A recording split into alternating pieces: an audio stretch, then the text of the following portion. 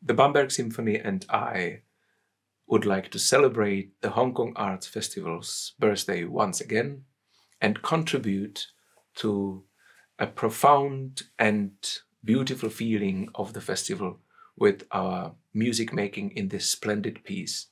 If someone asks me, or the orchestra for that matter, what we would like to present to the whole world, and this time to Hong Kong specifically, uh, out of the tradition of music we often and with great pleasure play, I think there's a good chance that a big portion of the orchestra would say Gustav Mahler.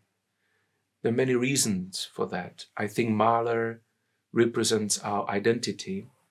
It's a composer who was born, by the way, in the same country uh, like I was born.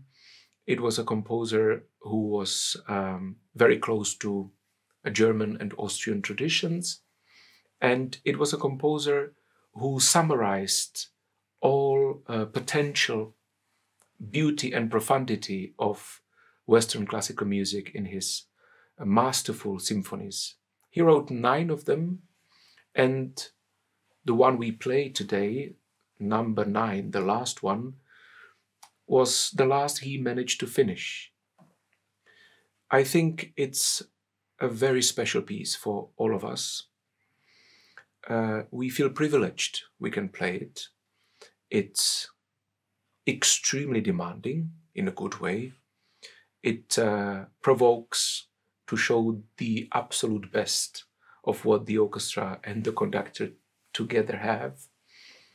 It uh, is beautifully written so that the orchestra can really shine and everyone have a prime time playing this piece. But it's also extremely personal, very deep.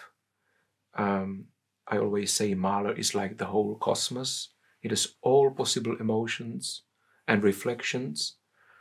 And I think it's also kind of fragile because Mahler was thinking about the most difficult topics when he composed this symphony, among which I think the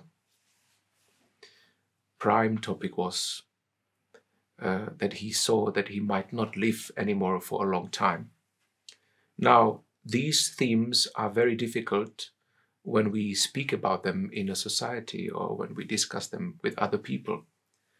But in music, these themes can be communicated in the most beautiful and acceptable way as kind of um, what we call catharsis, you know, as something which shows you the way out of uh, emotions which are not so easy to accept. We are living in um, a period of history currently which is not easy to cope with. There's COVID, there's a war.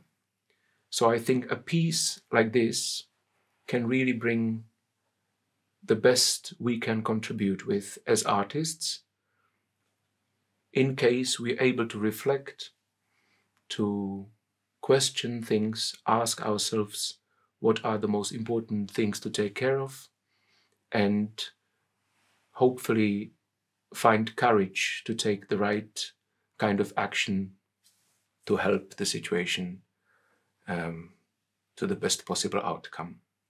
That's my personal wish, apart from all other wishes, which of course uh, stay secret. So please have a beautiful time with this amazing piece of music, and uh, I hope you'll appreciate how important it is to us to play it for you and how grateful we are that we can do it.